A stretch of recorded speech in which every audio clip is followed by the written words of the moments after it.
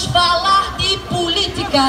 A nossa luta é pela resistência popular.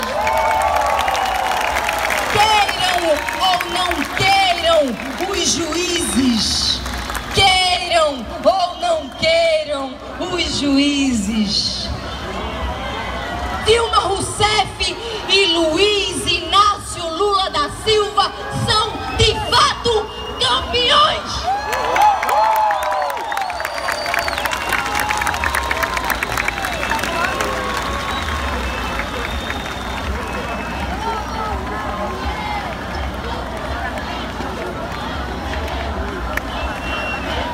Olê, olê, olê, olá. Canta, Recife!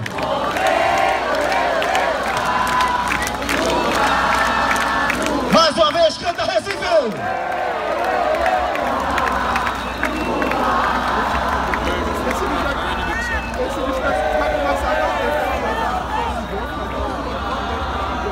Atenção, Atenção, Brasil! Senhoras e senhores, vamos ouvir agora a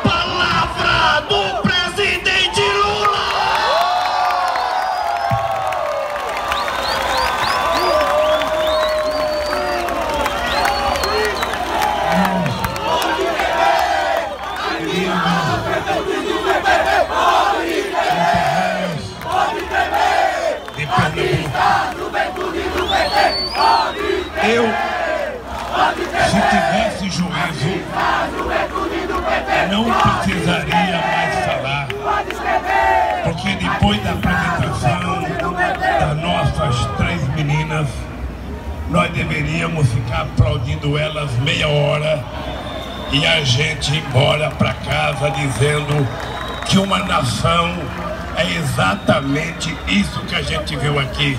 A expressão das suas mulheres, dos seus homens, das suas crianças. Mas como eu estou com o microfone na mão, e eu quero agradecer as pessoas que convidaram vocês para vir aqui, o PT, a CUT, a CONTAG, o Sem Terra, o Movimento de Moradia, o PCdoB, ou seja, muita gente convidou para vocês virem aqui.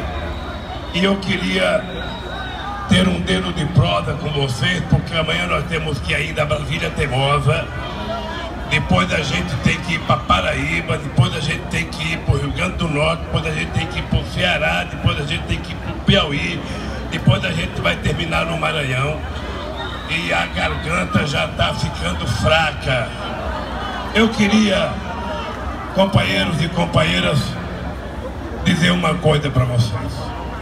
Uma nação não é a floresta que ela tem.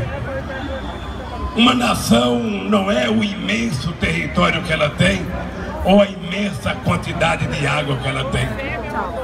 Uma nação só pode ser considerada nação se ela garantir a cada criança o direito de três refeições por dia e uma escola na pré-infância de qualidade. Uma nação só é nação se ela garantir oportunidade que cada adolescente possa estudar e até chegar à universidade. Uma nação, ela só é nação se ela garantir a todo o povo o direito elementar de trabalhar, o direito elementar de morar, o direito elementar de ter acesso ao lazer, de ter acesso às coisas que são aquilo que todo mundo sonha. E cada um de nós sonha exatamente a mesma coisa. Todo mundo aqui quer trabalhar honestamente e levar o salário para casa para sustentar a sua família. Todo mundo aqui sonha em garantir que os seus filhos possam estudar e fazer uma universidade.